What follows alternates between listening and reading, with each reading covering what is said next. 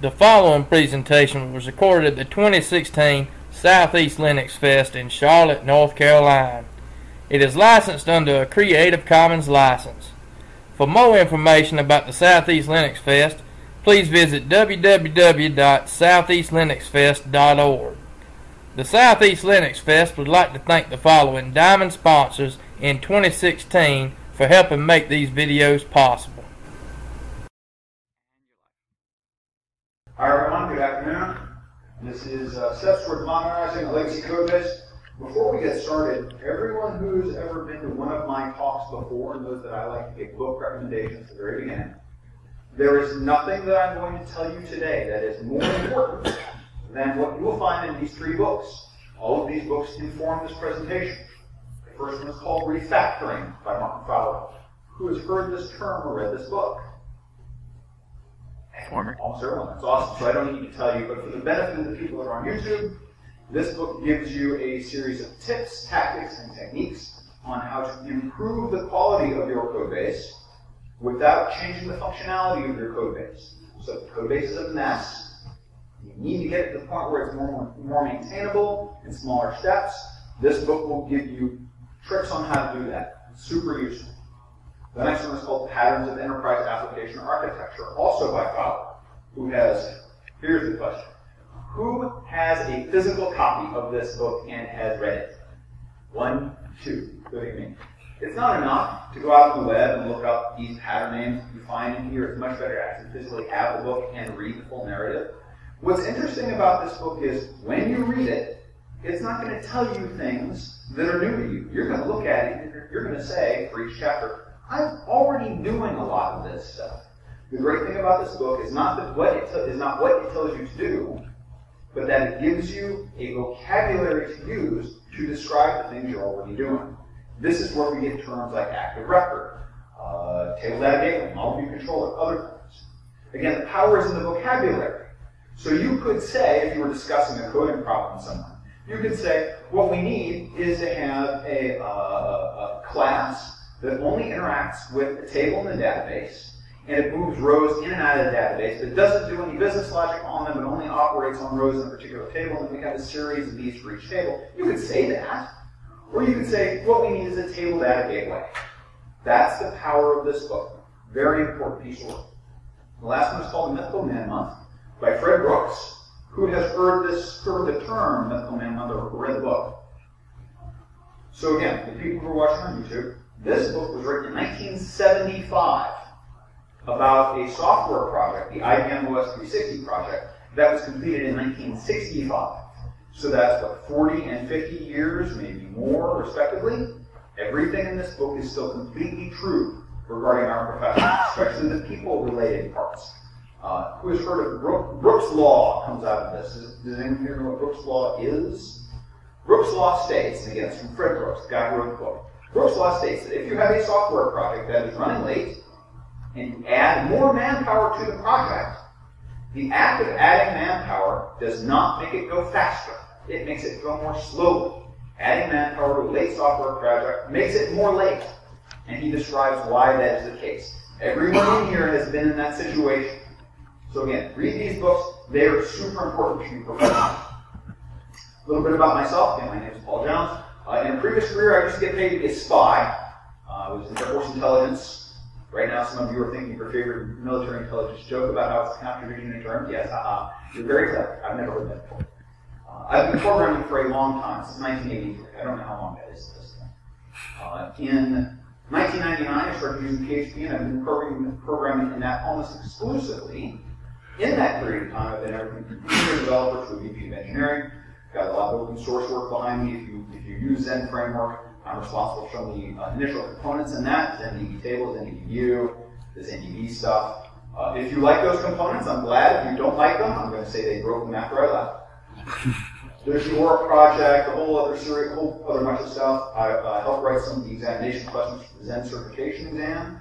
If you haven't taken that, I can tell you, as someone who has done hiring before, it's very nice to see that on a resume as an employer because it means that I know that you have enough professional discipline to sit down and take a test about the language of your choice. It gives me some insight into your character the kind of person you are. So we know that certification exams don't say whether you're not you're a good programmer by themselves, but they're an indicator to an employer of the kind of person you are.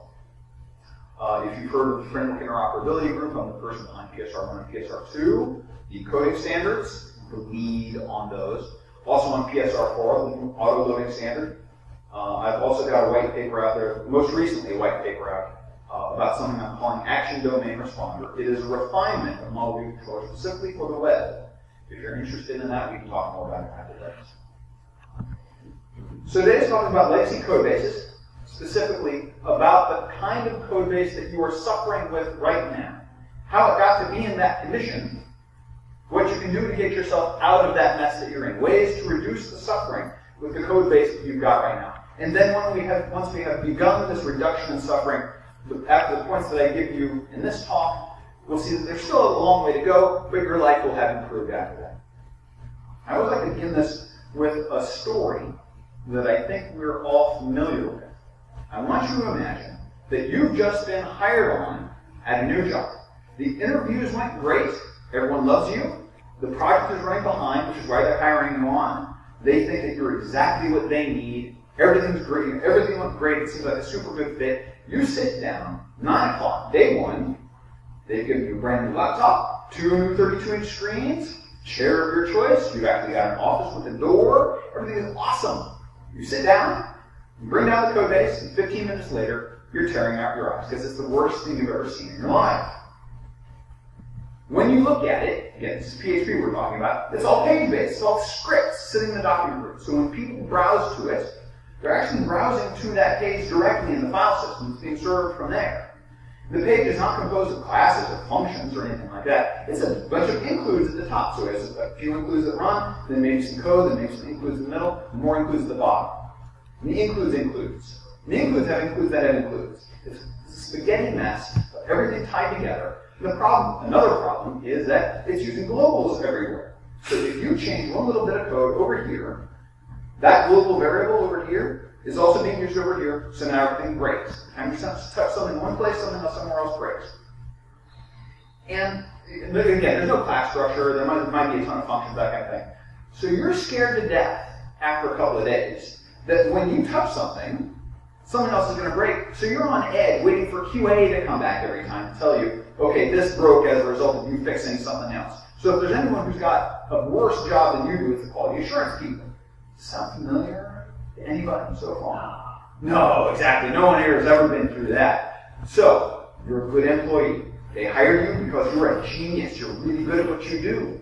This job that you thought was going to take two or three days, this particular feature bug fix, doesn't take two or three days. It takes two or three weeks. And then you do it again because you figure, well, maybe that's because I wasn't familiar with the code base. It's not going to get better. So at some point, you realize this and you go to your boss. You say, hey, boss, look, this code base is an awful mess. It's taking us a lot longer to work with. I feel like hell every time I'm working with it because I'm just not sure what's going to happen anytime I touch the code. We need to stop what we're doing and remedy the code base itself for a little while before we do anything else. The boss looks at you and she says, I know it's a mess. The last three people that we hired said exactly the same thing. But we don't have time to deal with that right now. The people who are paying, us, whether it's investors or customers or whatever, they're not paying us to make our own lives easier. They're paying us to fix bugs, to add features. They don't care that you're suffering on a day-to-day basis because of it. That's not where their money comes from. Their money comes from this code base. That's what we have to concentrate on. And so you argue back and forth for a little while. But again, you're a good employee. You have goodwill. You want to be seen as loyal. After a while, you give up. You go back downstairs. You begin your next two to three week project. We're going to take two to three days. Then after a little while, because the project is still behind, they hire on another person. That person comes in, sits down at their desk next to you. Their 32 inch screens, their brand new laptop, their beautiful chair. They sit down, and then 15 minutes later, you notice there's some hair on your desk because they're tearing out their hair at how horrible the code base is. They get up, they walk upstairs, they have the same conversation with boss. They come back downstairs, sit down, and they're super depressed. And they look at you and they say, How did the code base get to be this bad? And you look at them and you say, truthfully, I don't know how it got to be this bad. It was that way when I got here. Sound familiar? So why is it like this in PHP? Well, the thing is, the great thing about PHP is that anyone can use it. If you're not necessarily a professional programmer or if you're a junior programmer, you've a business idea, you can use PHP to whip something up really quickly that will actually go out on the web and work. You can copy and paste from websites. You can download classes. You can use Composer. You can look into PayPal or Stripe, whatever you want. Start getting some money flowing through the system. And when the money starts flowing through the system and your bank account starts adding zeros onto the end, you're like, wow, this is great. Great success. You know, it works. Well, it works.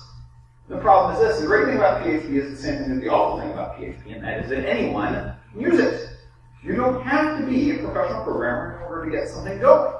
In fact, code bases produced by people who are doing their first or their second project I am the same way here. I'm not trying to, to put myself above everyone else. Everyone else here has done this as well. Looking at these code bases is a lot like looking at a dancing bear. What's the thing about a dancing bear? When you're looking at it, you're not criticizing it for the fact that its pirouette is off balance. You're not giving it disrespect because its plie is not in full extension. You're just surprised that thing's dancing at all. The code base is exactly the same way. How did this ever work at any point you're looking You have no idea how it's going. The reason is because the person who wrote it in the first place, maybe it's their first project, maybe it's their second one, maybe it's their third. They're not necessarily a professional programmer. They had a business idea that they wanted to get moving, get start money running through the system. They were not thinking about architectural concerns. They just wanted to get something on the screen that someone would give their credit card number for. They were not thinking about long-term maintenance. Where do I need maintenance? What do I, I just need to get the thing running. They're certainly not thinking about testing. Testing? I can tell if it's working or not. If I click the button and the money does not flow, then it's broken, right? If I hit the next button and it doesn't show up on the screen, then I know it's not working. I don't need automated. They're not thinking about that kind of stuff. And then, because the money is flowing, the business is running, they go on to their next thing. Maybe they sell it, maybe they become the CEO of the company, they don't have to think about the code anymore, but you, you poor bastard, you're the one who's stuck maintaining this thing. And just so that we're all on the same page what I'm talking about here, we're going to look actual code. Now, the names in this have been changed to protect the guilty. Wait, it's mine. yeah. Can everyone see this okay? Do I need to increase the size? Silence is dissent. All right. So we have here at the very top. This uh, require once, okay, required settings include, include current pages, my ratings. At equals type equals organization. Is that a bug? Or is that multiple assignment? Why are, there, why, are, why are we doing it that way? You know, like, okay, not a big. So, all right, oh, ID equals ID equals user ID. Wait a minute, dollar user. Where do we see dollar user get sign anywhere here? Maybe it's in one of those includes. Maybe it's in one of the files that those includes include. You don't know. You now have to troll through the entire code base to figure out where this came from. Owner name equals convert name like wait, convert name. Is that is that a PHP function? How many functions are there in PHP? Three, four thousand, something like that? No, luckily we know that it's not a, PHP function, but you, wouldn't necessarily know that looking at this code base right after that. How many equals five, page title, page description. This is my favorite. J equals J. Dollar J equals quote, dollar J equals quote. What is that for? Any ideas? String conversion. the, string conversion of the literal dollar sign J. Well, I My- my- it's a correct string. Yeah, yeah, yeah, I think exactly. that somebody was trying to do string conversion. I'm gonna go out on a limb and say that's they're referring to JavaScript jQuery.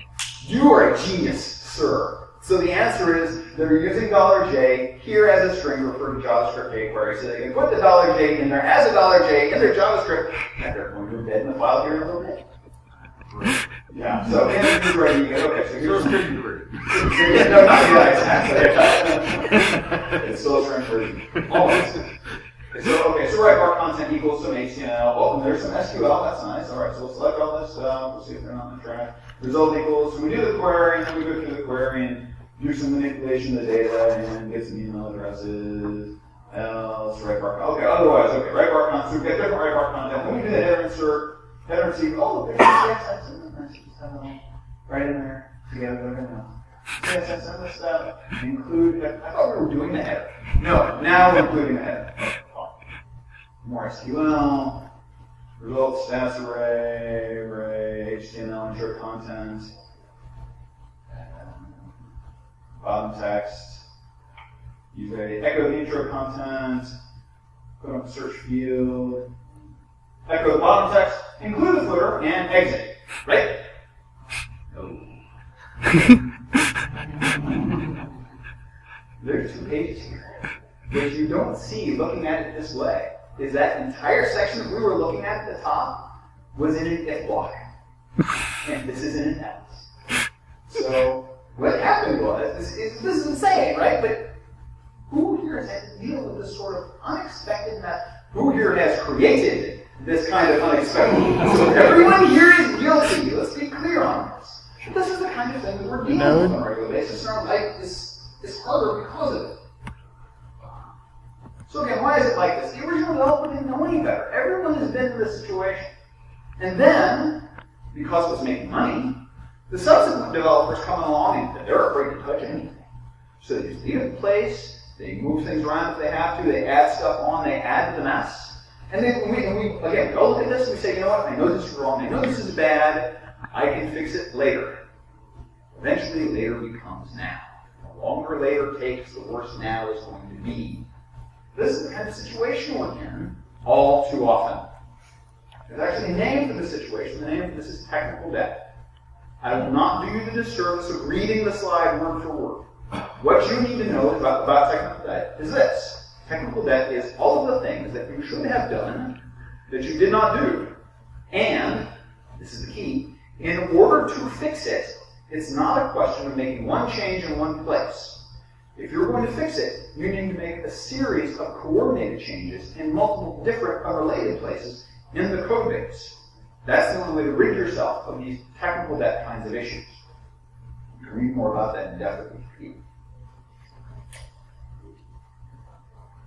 So now that we know the situation we're in, we know that the idea is we've got this technical debt. The road out of our suffering then is to reduce this technical debt, to pay it off in some fashion. If you were in uh, Chris Breaker's uh, metaphor talk earlier today, we're now going to work with metaphor. Technical debt turns out to be an awful lot like financial debt. So let's talk about financial debt for a little bit. What is the point of financial debt? Essentially, you want something but you don't have the money. Say you want an Xbox. Xbox, what's the Xbox one go for? 300 bucks? Like that? Something like that. $300. I don't have $300. I'm a young junior poor programmer and eating ramen and drinking Cokes. My life's terrible. I want some, some relief in my life. So I'm going to buy an Xbox. I don't have $300. What do I do? Charge your card. Huh? So you charge it. Exactly. So, here's the exchange. I give you this piece of plastic. You give me a much bigger piece of plastic. It's an Xbox. $300. You end up paying it off over time. You end up actually paying more than the $300, 350 350 say. But you have the benefit of having the Xbox now, and then you pay the money off over time. So that's the exchange. Same thing with a car. When you're buying a car, $30,000 car, you don't have $30,000. You sign a car loan. You get the car, and then you pay the car off over time. You end up paying closer to forty or forty-five thousand dollars over a four-year, five-year contract, but you have the benefit of having a car now. Same thing with a house, three hundred thousand dollar home, sign a thirty-year mortgage, you end up paying four hundred fifty thousand, maybe five hundred thousand dollars for it over time, but you get to have the house. Technical debt is the same way. What has happened is you have gotten a feature, quote unquote, for free because it cut some corners. Maybe you didn't do everything the way you should have. Maybe you didn't write test for it, but you cut it, you got it done in time because you're under time pressure. But you're going to pay for it eventually because you do enough of this, it's going to come back and really make your life painful. Now, if we ourselves, we in the room, are going to write a feature, of course we would want to do the equivalent of paying cash, right? Because we know that our lives are going to be trouble if we don't do it right the first time, or at least don't do it something close to right the first time. We would want to pay cash, right? That's not the situation we're in. We have inherited the technical debt of someone else. Their decisions are now being borne on our backs, and so we have to carry this load. And it's really terrible because we didn't make the decision. We're suffering for their decisions. And I, again, I've been using the word suffering here. I use that intentionally. It is painful. It is a psychological burden to do these things. Or to, to have to deal with a code base where you don't know what's going to happen if you mess with something. It hurts. There's no reason for us to have to suffer this way, and yet we do. And it turns out there, it seems like there's no way out. There is. It turns out there are two different kinds of suffering we can go through. We can go through a kind of suffering that doesn't lead anywhere. That's what we're going through now. Or we can choose to suffer in a different way. We can choose to suffer in a way that leads to growth and eventually gives us a path out of the kind of suffering we're going through that we're going under now. But let's all just talk about suffering. I mean, we talk about financial debt, right? The, the way of paying out financial debt is just declare bankruptcy. The technical debt equivalent of this is we'll just rewrite and from nuke the thing from orbit. It's the only way to be sure. This is super tempting. I urge you to resist this temptation. First thing you need to know about yourself, and as soon as I say it, you're going to know it's true, you have never looked at anyone else's code ever and said, eh, this code is fine, it doesn't need to be rewritten. Ever. Everyone looks at everyone else's code and says, this is awful, it needs to be redone entirely. That is our first natural instinct as developers.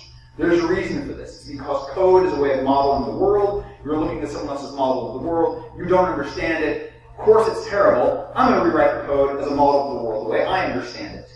So that's the first inclination. Resist that inclination. There are lots of reasons for this. The number one reason is you're going to be spending a lot of effort without earning revenue for that effort. So again, you're going to rewrite the thing from scratch. You're going to be doing a lot of work, but nothing new is going to be happening. The old system's got to keep running somehow. So you're spending all your time over here, but this thing over here is still broken. That's a problem. So then the follow-up idea is, okay, we're going to rewrite from scratch. We want to have someone maintain the old system, and then have some other people build a new system for us. So we'll bring on new developers. And we'll take the new developers, and we'll put them on the new system. And they will be the ones to write the new system, right? Because they're, they're uninfected by the old one. So there's a problem there. The new developers are going to have zero productivity. In addition to that, the old developers are going to have zero productivity. The reason is, as explained by Fred Brooks, the new developers don't know anything.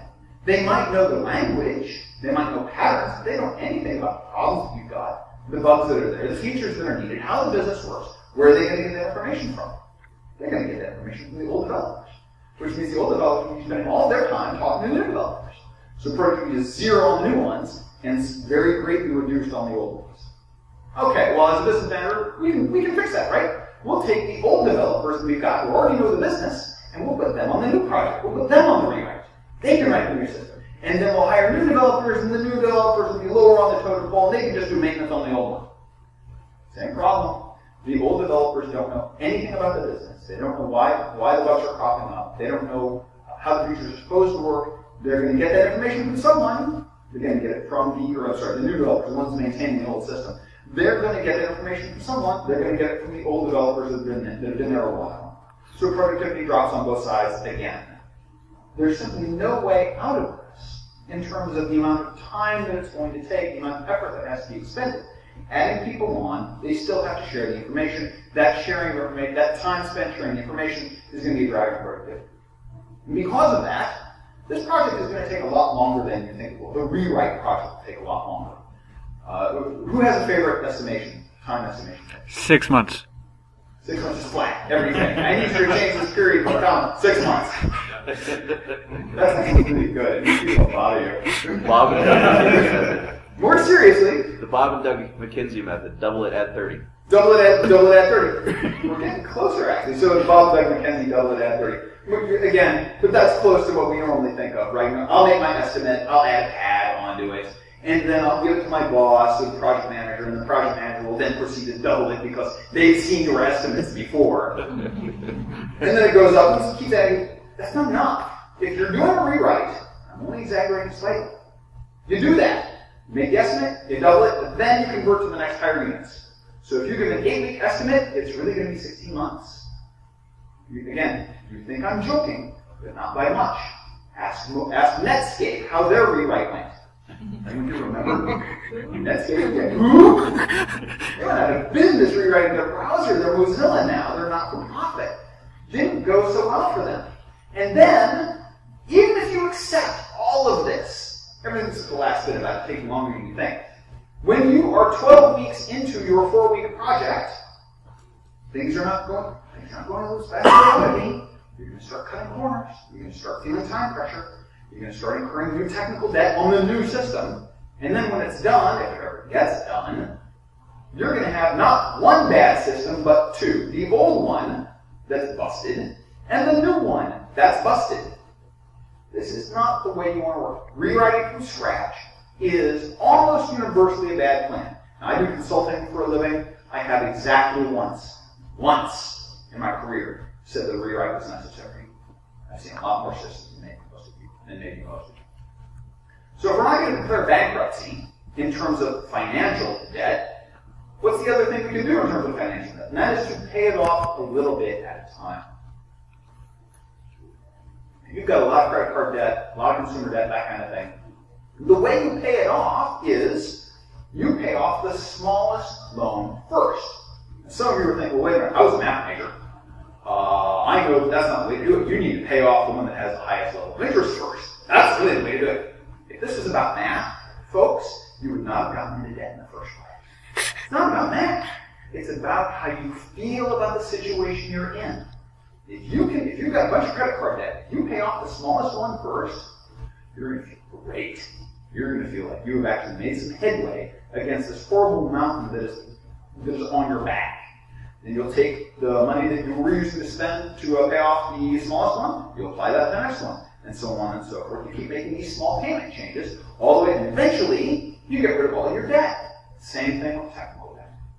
What we're going to do here is I'm going to outline how you can make a series of small changes, one small change, one at a time, make it, have it done, and then you've got rid of one little bit of technical debt in the system.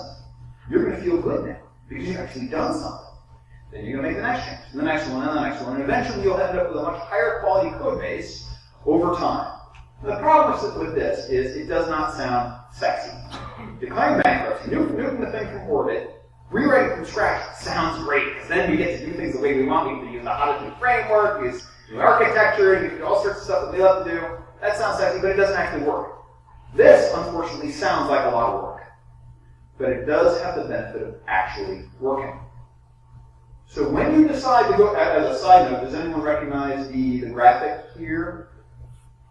This is a project management style called the spiral model, specifically for risk mitigation in change strategies. It's really very good. So again, the incremental approach. So the incremental approach is what I'm going to advocate here. We're going to talk about how to proceed through some early steps of it in a PHP codebase. When we discuss these steps, I want you to keep these goals in mind. Goal number zero, for program to count from zero, right? Goal number zero is to keep the application running the whole time. At any point during this incremental approach, if the application breaks, we have not done something right. Of course, we do this in, in uh, uh, revision control, so we can keep it from breaking. But again, the whole point is this system is making us money. It has to keep running all the time, while we're doing the change and after the change is done. No breaks.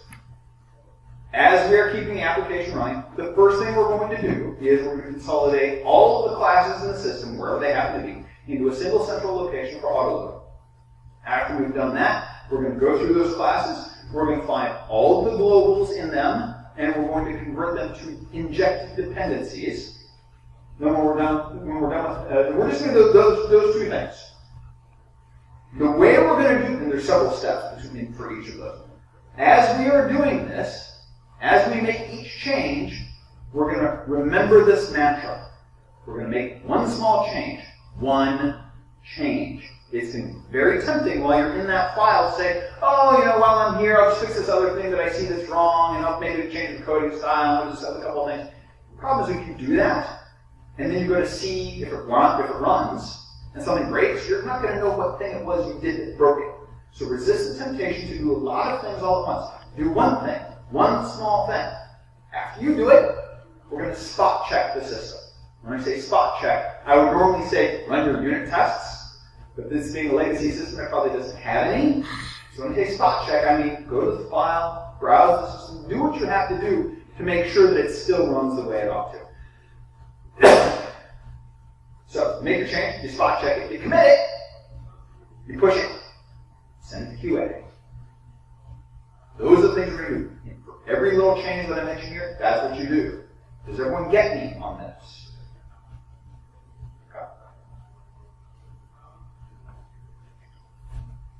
So the first thing we're going to do is consolidate all the files in the system for autoload. Uh, who here does not know what auto-loading is. I'm not trying to put anyone, so that's cool. I'm gonna, that's, that's awesome. So what we normally do in PHP is, we want to bring in class file definition, we say include path to class file definition. The problem is, because we're in an include-oriented system, it's, remember, we're doing includes, and includes, and includes. We can't tell what's logic and what's bringing in definitions. The idea is these includes are all mixed in. Some of them are definitions, and some of them are executing logic. What we want to do is make it so that we can get rid of all of the includes in the system that only bring in definitions and that do not execute logic. This is where autoloading comes to save us. The, uh, the idea behind autoloading is that the first time you ask for a class, PHP will run a little bit of code and go and find that class for you in the file system according to rules that you have given it. That's what autoloading is. Yeah, I see some people like raising their brows. This is a really nice touch in PHP, and it's been there for a long time, since 5.0 if I recall correctly. Um, so again, in, without autoloading, we have to do that include that you see at the top. But with autoloading in place, you just say object equals new example name, and PHP goes out and finds it for you, which is really nice. And then you get rid of the include statement, and now you've just gotten rid of one line of code in that horrible mess of a script. There are different autoloading standards. The one I'm going to recommend to you for your legacy code base is called PSR 0. If you have any history in the PHP community, you know that this is effectively the PEAR autoloading standard, where the class name maps directly to the file name. So if, and then and namespace separators, because this came about as a transitional standard from PHP 5.2 to 5.3. If there are namespace separators from the class name, the namespace separators map directly to directory separators in the, in the file system. Class underscores also map to directory separators. Again, before PHP 5.3, there were no namespaces, thus there were no namespace separators. A lot of people use underscores as pseudo namespace separators. So this standard honors that convention. What that means is if you've got a 5.3 style namespace, then you tag an example name, under PSR 0, that class name translates to vendor slash package underscore name slash example slash name.php. I want you to notice, by the way, how the underscore in the namespace portion is not converted to a directory separator, but an underscore in the class portion is. Again, that's because it's a transitional standard. There's a later standard called PSR4 that does not honor underscores in that way. If you're in a later system that does not have underscores in the class names, using PSR4 might be perfectly reasonable. But again, I'm going to recommend PSR0 simply because I'm expecting this to be a very old code base. This, now I said earlier, PHP will use a bit of logic that you give it to go out find classes. This is the PSR0 implementation code. It's not important for you to know exactly what's going on here. Essentially, these are the translation rules for getting a class name and changing the directory, the, uh, the, the separators and the directory separators and tagging PHP again. But then at the very end, you see it says base equals path to classes, and then it requires the file. So PHP automatically executes this bit of code because we can see the bottom SPL autoload register the autoload function. That's what tells PHP to use this to go out and autoload files for you. It says base, base equals path to classes, require base file. Path to classes is going to be some directory that we set up for ourselves into which we're going to put all of the classes in the system. I'm going to refer to this as our single central class directory location, or our central class directory location, something like that. If you, there are questions about this, we can talk about it. So once you put all of this, the first thing you do is you take this, this function or any equivalent, you put it into your application somewhere very early in the application, maybe in a config file, maybe in a setup file. All you do is you put the code there. You don't actually change anything else. Then what do you do? We made one change, what do we do? You, you jump in. You're close stuff. Spot check. We do our own QA. We spot check. We make sure that we browse, we browse, and nothing is busted. Spot check. No, we commit it, push it, send it off to QA. We say, hey QA, I added this bit. Shouldn't have changed everything, everything should be okay. Then, this is where the actual work begins. We begin moving all of the class files that are spread throughout the system, wherever they happen to be, we move all of them to that single century directory so that the class names map to where they are within that directory according to the PSR0 rules. So if you have class files in lots of different paths, just move them to the single central directory location. It's very often the case that these files, that there will be more than one class in a file, split them to their own files. PSR0 can't find classes that aren't named per file, so you need to make sure that each class is in its own file. That's the mapping, that's the mapping. If classes are defined in line in PageScript, let's say you've got a PageScript that does an execution logic, and then it defines a class, and then it uses that class later on, pull the class out of that PageScript, put it in its own file according to PSR0 name rules, and, and you're done. Now, as you do this, for each class that you move, you also want to remove the include or the require statement for that class from the entire rest of the code base. So it's easiest to do this one class at a time. You find a class that's being defined, you move it, you then go to the entire system, you get rid of the include statement for that one class from everywhere. That's our one change.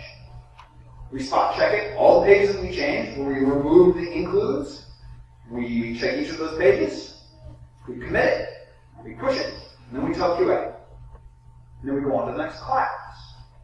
So we do this one, one, little, one little bit at a time.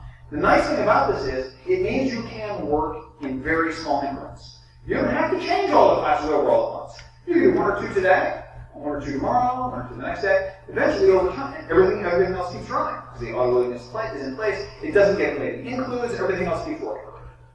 And again, the whole point here is to remove the include and require statements as we go. We want to remove as much code as we can so that we can see the logical flow of the system. We know that any includes that remain after this are executing logic. Again, uh, oh, as a side note, uh, it may be that some of those classes will not have the same name. So if you've got execution path A with a class name user, and execution path B with a class name user, you can't move them both to the same location. They're both going to have the same name, so you may need to rename classes as. Not a big deal, just be aware of that. Unfortunately, one of the problems with legacy code bases is that they're not especially object-oriented or class-oriented, if you want to call it that. There are instead lots and lots of functions declared in the global namespace. That makes it really tough, since people are not in long. This kind of thing is tough to deal with. So what I'm going to suggest to you, and I will show you how to do this in a moment, auto-loading does not work with functions. So what happens is we include this collection of function files, then we go on to it. Auto-loading doesn't work, so it's not a question of just removing the include because it won't find the functions for us automatically.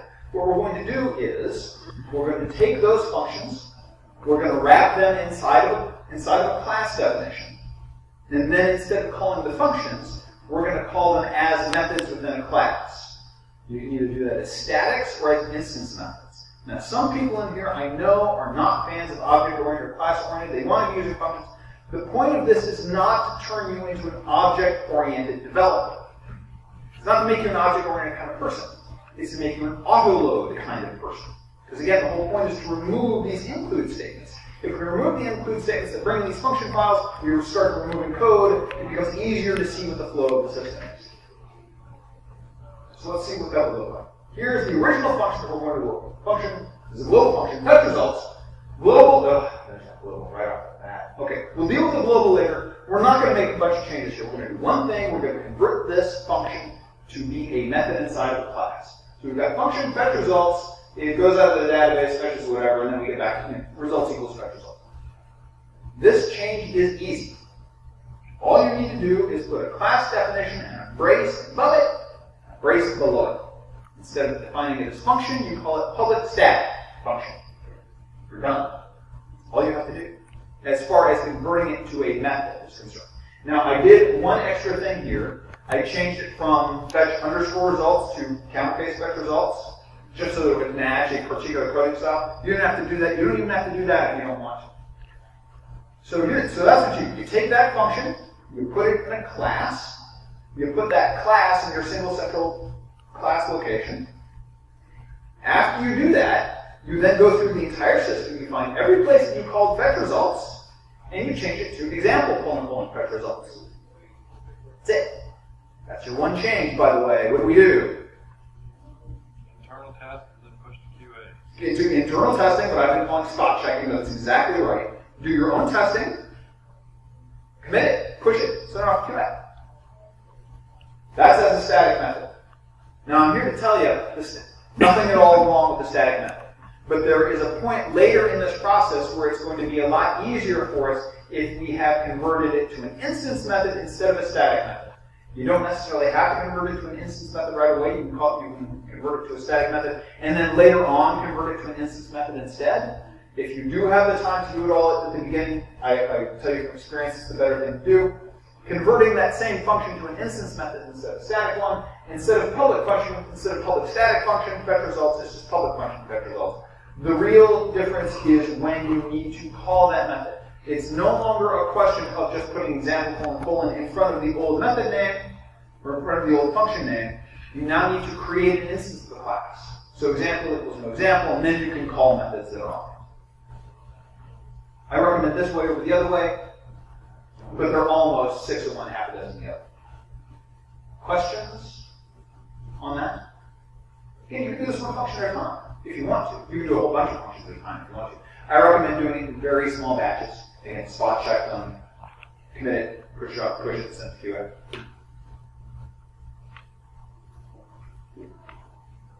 So at this point now, we have found all of the classes in the system. We put them in the single central class location. We have additionally found all of the functions in the system, and we have converted them to use to be class methods essentially. And they're all being autoloaded. So all of those include statements that were there, all of the requires that were spread throughout the system for this, they're gone now. We've reduced the amount of code in scripts. We're now beginning to be able to see what the logical flow is of these monster monster code messes. So we're going to back off for a little bit. We're going to go over these classes and functions that we've extracted, and we're going to start pulling the globals out of those and switch them over to what's called dependency injection. So first of all, let's look at the progression of how we do stuff when we're writing when we're writing code to begin with. No, as a beginning program, what you would do is create the dependency inside the function, whatever whatever was you needed. So at the very beginning, like day one, day two of your work, you've got public function fetch results. Say, well, I need a database connection. I'll just say new database, put my username and password in there, and use that to fetch results. This is the simplest possible thing to do. Of course, we know this is bad for a lot of reasons. First of all, it's making a new connection each time you call that method. So again, you call result, results 15 times, 15 connections. That's bad. You can't reuse the connection. Finally, if your and password ever changes, you now need to, and you create a new database in 20 different places, you now need to change username and password in 20 different places, which again is terrible. So you, you get to day two of, of your programming career, you realize this is. So you go to the PHP manual, trying to figure out how can I get around this so that I can around, how can I deal with that problem, and you see that there is this wonderful keyword called the global keyword, where it allows you to drag a variable in that was defined in the global space. I can drag it into any scope I want, and then I can do it. You're like, ah, this solves my problem. I will create one database connection to my config file or my setup file. And then anytime I need it, I will just say global DB and use that to fetch whatever I need. So this solves just a ton of problems, right? We're not doing, we don't have to change the password 15 different places. We don't have to change it one place. We will look at one connection. It's being shared. It's good use of resources. It seems awesome. Until you realize what the quantum folks call this evil action at the distance. So here's the problem. If you've got a global variable someplace, and you, it's over here, and it's over here, and you change it over here, it's changed over here too. So I dare you, global DB, and you say DB equals null or unset DB. Now suddenly your database connection is gone. You don't know why. I dare you to track down that bug. So we don't want to do globals anymore. But there's got to be a way to get the dependencies that we need into the functions that need it, into the methods that need it.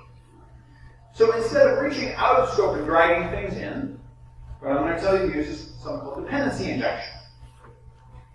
And so instead of reaching out of the class from inside to drag stuff in, we're going to start outside the class and feed the class the things that it needs. We're going to inject things into the class. Does everyone get what's, what's about to happen here? I'll show you an example here in a minute. Um, now, some people are thinking about dependency injection containers.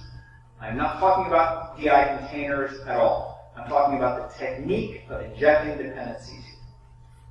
So let's, work, let's walk through this. Starting point is that global in the method that we've already got. So here's our old friend, fetch results. Global DB, return DB fetch result. This is our starting point. And we know that the global is here because we converted it from having used a, a global and regular function before. The first thing we're going to do is we're going to take that global and we're going to put it in the constructor. You remember what I said earlier about static, converting a function to a static method being okay to start with, but having an instance method, having an instance method would be better? This is why. No constructors for statics. So this is where having an actual instance method will help you. So we pull that global DB out of fetch results, we put it in the constructor, and then the constructor retains it as a property. That's step one. That's all you have to do. Incidentally, that's one small change. Now that we've made a change, we need to spot check it, make sure it works, commit it, push it up, QA about. And you can either do this one class at a time, or you can do this throughout the entire system. You can move all the globals up to constructors if you feel like this, if you feel like it, or you can follow this entire process that I'm about to outline for one class at a time. Depends on how you want to go through it. So that's step one. Move the uh, global up to the constructor. Step two is remove the global $DB and make it a parameter to the constructor. So the constructor now has to receive a database connection from the outside someplace, then retains it as a property. I failed to mention earlier. Fetch results now uses the property instead of the global one. I think that was obvious what I failed to say. So now it's a property that is injected through the constructor as a parameter. It retains the property, fetch results, method doesn't have to change at all. You're done, kind of. We've modified the class. The problem now is when we instantiate this class, we need to pass the database connection every time we instantiate it. So now that we've made the change, we go back through the entire code base. We find every time we call up a new example, every time we call up a new example, we create the database connection or we get the database connection from someplace else, probably our config file, because we're already in the global space, we're working in page scripts. Take the database connection, new example with database parameter, and then you've got the example class, now you can call fetch results. Does that make sense? There's a problem, there's a follow-on problem with this too. And that is, sometimes the dependencies have dependencies. If that's the case, then you need to pass the dependencies, the intermediary dependencies into the class. What I mean is this. Let's say we've got class example with fetch results, global DB, but we've also got this class called service that needs a new example class so that the service can use the example to fetch results. So you can see the problem here is that we've got these three layers. Example needs database, service needs example. If we're going to create the service class, then how do we get the database in there? So we did our first conversion with example so that it takes a global, what used to be a global is now a constructor parameter. Class service now, though, when it creates the example, needs to have that database connection. So anytime you create service, you now need to pass that database connection so that service can create the example class. This is actually an intermediary form. This is a violation of something we call the law of Demeter. Service doesn't actually need the database connection. All it needs is the example class. And then it uses the example class to, uh, to, get, the, to get the database information. So you can do this, and this would be one step where you pass the database connection into service, and the service creates the example, or you can completely eliminate the intermediary dependency. You can say, when I create service class, service needs an example. So then you create the database connection to create the example. You create the example, and then you create service and you pass it the example. Does anyone kind of see what's going on there? This sounds like it get really deep. What if we have dependency for dependency for dependency? In practice, I've never seen this go more than three layers. Now, it's tough when they're it's spread across the system, but once you start getting a handle on it, you'll start seeing uh, the, the order in which things go. So the progress, so let's just think about this for a moment. We've got that service class that needed the example. The example needed the database connection. Before, when we did all the globals all the time, no dependency injection, we just said, I need a new service. Service equals new service. Oh, well, well, that's easy. It's online code. What's actually going on there? Doing a whole bunch of stuff you don't know about. When you try to write the test for this, eventually, this is going to be really tough to write a test for. So then you pass through the intermediary stage, where you pass the database connection service, so that service can create the example. You say, all right, DB equals new database, then I'll create a new service, but and the service is in charge of creating an example internally. But where we really want to get to is to pass in all the dependencies from the outside all the time. So our final goal is to do all the dependency injection all database equals new database connection, then we create the example with the database connection, then we create the service with the example. Now, that is literally three times as much code. But the problem in our code base is not the amount of code per se. It is the comprehensibility of what's going on. It's the understanding why things are happening. So yeah, is literally three times as much code, but you now know exactly what's going on. You have much finer control over when things are happening. If, for whatever reason, service starts needing something different, you can pass it in something different from the outside. You don't have to change the service at all anymore. Side effect removal. Hmm? Side effect removal. Removal of side effects. That's exactly right. It's also exposure of control. We now have, it, it, technically, it's inversion of control. Service is no longer doing things it shouldn't be doing. You're giving it the things that it needs. That's it. Those are the two big things you can do. Set up for auto-loading, classes, and convert your functions to classes so they'll autoload, and then remove all these globals and use dependency injection. Doing just those two things is going to take time. You're going to do little bits, little bits, maybe over weeks, maybe over months, doesn't matter. The point is that when you've done it, suddenly your life is going to be a whole lot better. First of all, there's no globals. You're going to have to be afraid of touching something over here and have someone else over here break. At least not as far as the classes are concerned, not as far as the functions are concerned. So we consolidated everything for autoloading. All those include statements are gone. We've actually removed a lot of code. And the whole thing's kept running the whole time. We're still making money. There's no point at which we've had to stop the application, figure out what's going on, and try it just keeps running, keeps making money for us. We paid off some technical debt. Our lives are actually getting better now. We've got a nice class system that we can work with. We don't have to worry, like I said, don't have to worry about globals and action at a distance. And we've got an organizational structure for future work. If we need to add a new feature, what do we do? Just copy and paste our page script anymore. We create a new class with a method that uses dependency injection. It's a whole lot easier to understand. Then, because of that, we can start writing unit tests, right? No nodding from the group at all. This is the point at which you start writing unit tests, and if you don't, Chris Hartjes will come and find you. Those of you who don't know, he's written, yeah, he's a grumpy programmer, big on testing. Strongly recommend his books. Great stuff. Uh, as he says on his podcast, Grumpy Programmer Without the U, G-R-M-P-Y. So, when I gave this talk originally, I gave out, the, the first time I gave it, that was pretty much it. This is where I stopped. I gave it the second time. People let people, so it was received well the first time, gave the second time, it was received well. Third time I gave it, people came back to me and said, We've done everything you talked about. What do we do next? And I realized there's a whole lot more to do. And so I explained to them, these are the things that we have to do afterwards. We're still using the new keyword everywhere. We want to replace uses of the new keyword with factories. And I know that that sounds crazy. How do you get away with not using the new keyword? It turns out there is a way, it turns out to be pretty useful, called again, called using factories and builders. Then what we do is we go on in the rest of the system to remove all of the embedded SQL statements that are spread throughout the system. We give ourselves a data access layer. Then once we've done that, we find all the manipulations of the, of the data that came out of SQL. And it could be in Mongo, whatever, either external data sources. All the manipulations of that data, we pull out, we put those into a model layer. So we get rid of, we start separating out the domain logic. Now our scripts are starting to get pretty small. They're mostly HTML and putting together objects. So the next step is we pull out all the presentation stuff. We put it into a template system. We put it into a presentation layer. Now what we've got pretty much is just setting up, setting up of objects and having them interact with each other. We extract all the action logic to a series of controllers. If there are any includes that are left over, because now we've got really small files, any includes left over, we're able to extract those and move those into classes.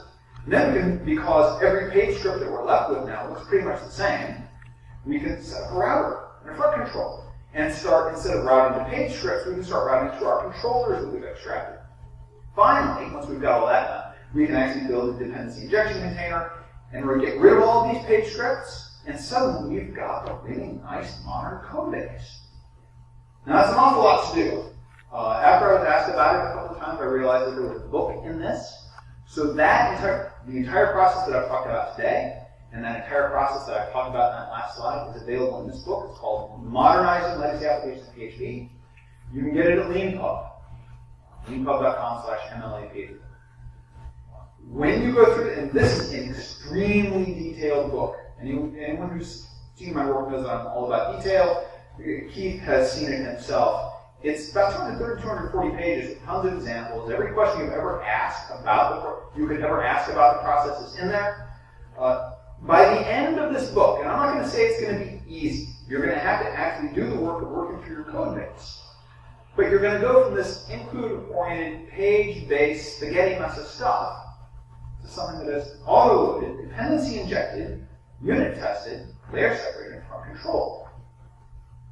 I'm not going to say your life is going to be perfect, but you will have traded the low quality problems of a low quality code base for the high quality problems of a high quality code base. Your question will not be, how do we make sure that this action at a distance is not happening more because of globals? You're going to be saying, what kind of domain model should we be setting up for this system? How do we further extract these portions and put them in packages so they can be maintained separately? That's what your life is going to be like after. That's all I have. Thank you very much for your time.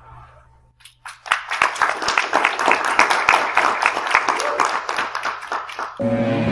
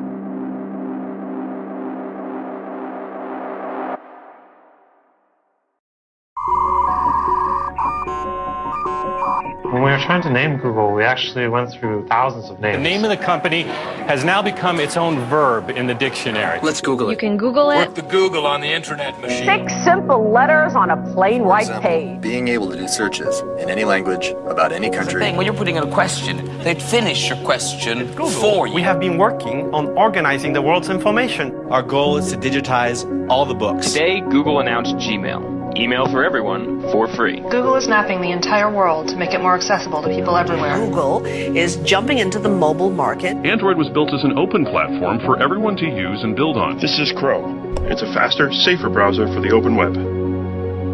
Google is unveiling what they call the knowledge graph.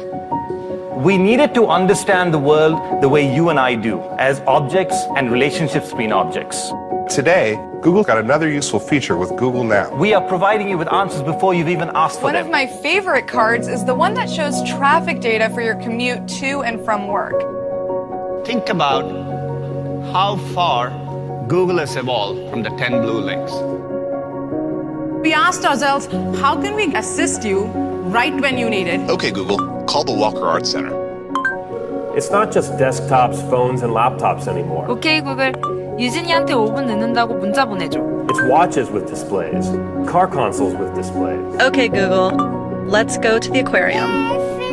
How can we help you get things done in as few steps as possible? Okay, Google. Okay, Google. Okay, Google, show me my photos of Lucas with the pumpkin.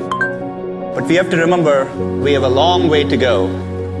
This is just the tip of the iceberg.